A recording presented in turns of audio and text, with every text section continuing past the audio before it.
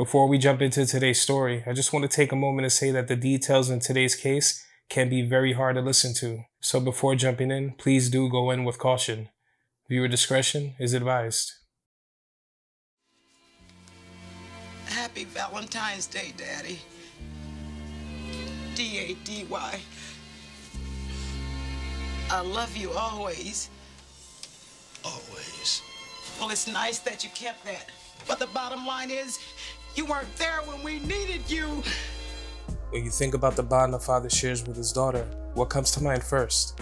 Some may hear that question and words like protect, nurture, and trust come to mind.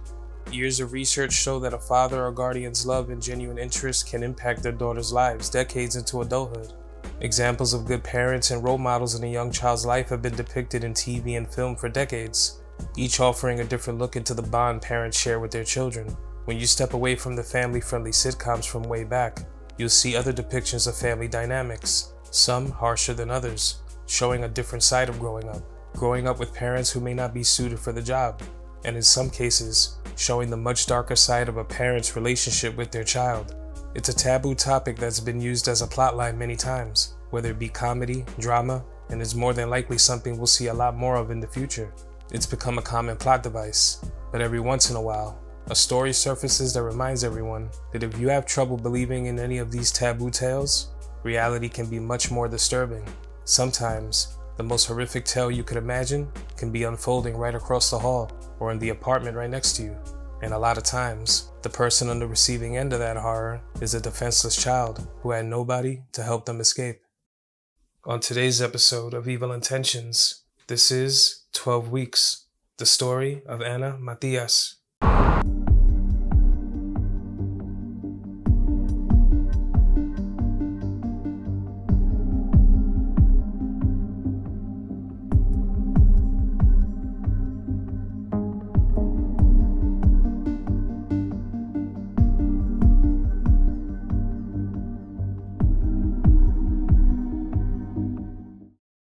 Ana Matias was born on December 30th of 1993 in New York City. She was born to her mother and a man by the name of Miguel Matias. According to Miguel's sister, Ana's mother and Miguel met as teenagers but had an often troubled relationship. They were together for a while but would separate sometime in 2003 or 2004. Ana was described by friends and family as a lively and well-dressed 8th grader. She had two siblings, plenty of friends in school, and she had dreams of one day becoming a model. Neighbors who knew Ana and her father stated that Ana seemed to be his favorite child. Miguel's sister said the same. By all accounts, Matias was considered a good father, known to often take his children to restaurants, buy them clothes, randomly purchase presents for them. When it came to Ana, he was no different, treating her well and routinely giving her money to get her hair done or buy whatever she wanted. Now, of course, all the material possessions and money in the world don't make somebody a father. It takes much more than that. You can't buy the love of your children. But from the outside looking in, there just wasn't any reason to ever believe that Miguel wasn't a good father. To those who knew him from a distance, everything seemed to be great. But the truth is that Miguel Matias had a dark side, and it was one that his family had become quite familiar with. Down the line, Ana, her mother, and siblings would move to Allentown, Pennsylvania. They would often come back to New York City to visit. That way, Matias could see his kids, but it didn't always prove to be the best idea. According to reports, Matias had a long history of mental illness. On one occasion, said to be sometime in 2004, Matias was institutionalized and spent about a month in the hospital, being observed. This was because while the family traveled from PA to Indiana to visit a relative, an argument took place, and in a sudden rage, Miguel would take gasoline and pour it all over the car that him and his family were driving in, and he was seconds away from lighting a match and setting it on fire with him and his children inside. The children were obviously horrified, and in anticipation of what felt like the end, Ana's brother would say goodbye to her, believing that neither one of them would be alive after this. When Matias heard his son say goodbye to Ana, he snapped out of it. He didn't follow through. Now, after something as serious as this happening, it would have been justified to keep this man as far away from these children as possible, at least until he had his issues worked out and he was properly evaluated. That way, they were sure that he was fit to take care of his kids. And even then, supervised visits would have been the smart thing. But somehow, for whatever reason, Miguel Matias was granted unsupervised visits on the weekends, and that one decision would lead to a very horrible ending for Ana. By this point, it was known that Matias was in need of some type of therapy to try and cope with his issues. According to reports, it was said that people close to the family witnessed Matias' dark side often. There were times where Ana got home too late, and it would result in Miguel beating her in the hallways while neighbors looked on. He was also said to on occasion have beaten Ana's siblings and when he hit them, he hit them as if they were grown adults that he was fighting, resulting in them being physically injured, frightened, and depressed. The time that Matias tried to set his kids on fire shed light on the fact that his anger and temperament had reached new levels. Matias would soon seek psychiatric help because he was very aware that there was something wrong with him. He would apply for Medicaid insurance in order to get the help he needed, but he was denied coverage, so no way to receive help. The history of violence is what destroyed this man's relationship with Ana's mother to begin with. And in 2008, Ana's mother began seeing someone new. Her and Miguel were separated, and there was no reason for her to not live her life. But Matias didn't take this news lightly, and his anger about it would end up resulting in a tragedy that not only shocked everyone who heard about it, but also made them sick to their stomachs. On Friday, February 15th of 2008, Ana and Miguel Matias spent the night on the phone with Miguel's sister as the three of them played online games on the computer. Miguel and Ana in their apartment, and Miguel's sister in her own apartment. Miguel resided at 1005 Walton Avenue in the Bronx, which is where Ana would visit him. He was also the superintendent to the building. The night was filled with laughs and nothing seemed out of the ordinary. They hung up the phone and ended the night. It's unclear how quickly things escalated, but the result was heinous. It was said that the basement of the building had a room where Matias kept surveillance cameras and the computer. Ana would sometimes lock herself in that room and use the computer to talk to friends. On this night, Matias would supposedly walk in on Ana while she was messaging a boy. The nature of the message was said to be explicit, and when Matias saw this, he just couldn't contain his rage. He would begin to attack Ana savagely, tying a knot on an extension cord and wrapping it around Ana's neck from behind, pulling as hard as he could choking the life out of his own daughter.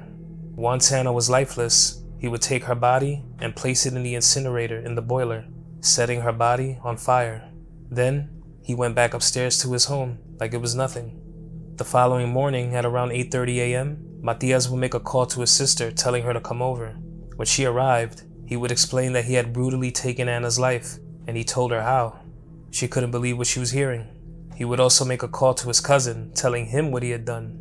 His cousin made his way to the location as fast as he could, and he ran straight to the basement. He said he looked for about one second, and what he saw scarred him, because he saw Ana's charred remains. He couldn't look anymore. He was in shock. Finally, Matias would make a call to 911 at around 10:30 a.m., telling them what he had done. At first, he would tell officers that he left Ana's body in a nearby wooded area. They found nothing, but when they searched the basement to the building where he lived, they made the sickening discovery. When police officers found Ana's body, she was still on fire. Matias was arrested, and when questioned, he would continue to talk about what he had done to Ana. He would mention how his first instinct was to beat Ana to death with a baseball bat, but he didn't want to get blood everywhere, so he choked her instead.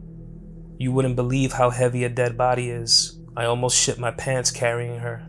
He would also say, I killed my daughter. I want to do 30 to 50 years. Authorities who had seen it all were still left stunned at these statements, but the information that would be discovered much later was just about the worst thing imaginable. More than a year later, charges of sexual assault were added to his other charges of second degree murder. And this is because when they ran DNA tests on Ana, they would discover that she was 12 weeks pregnant, and the father of the child was Miguel Matias, her own father. At some point, Matias would begin taking advantage of his own daughter, grooming her and engaging in unspeakable acts with her.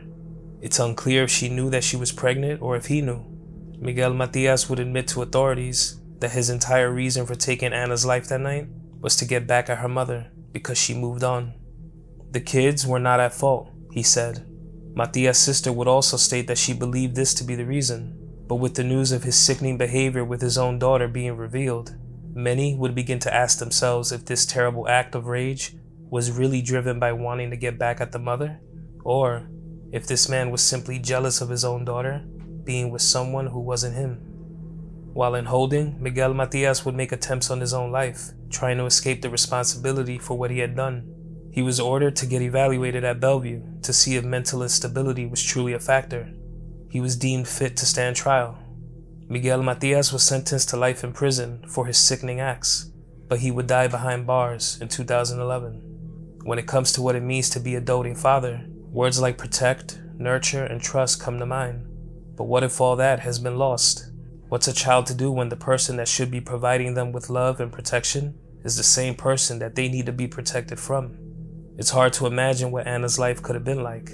Had this man done his job as a father, she could have grown up to live out her dream and be a model, or who knows, maybe take a whole new trajectory in life.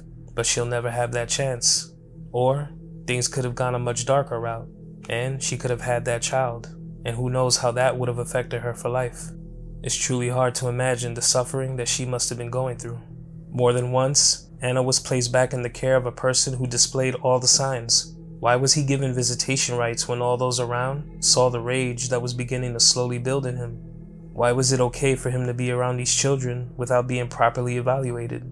Why was he allowed to be around these children after attempting to take their lives one time already? Questions I'm sure many are asking themselves as they hear this. But sadly, all the questions in the world can't bring Ana back. Ana would have been 29 years old. Rest in peace to Ana Matias. You aren't forgotten.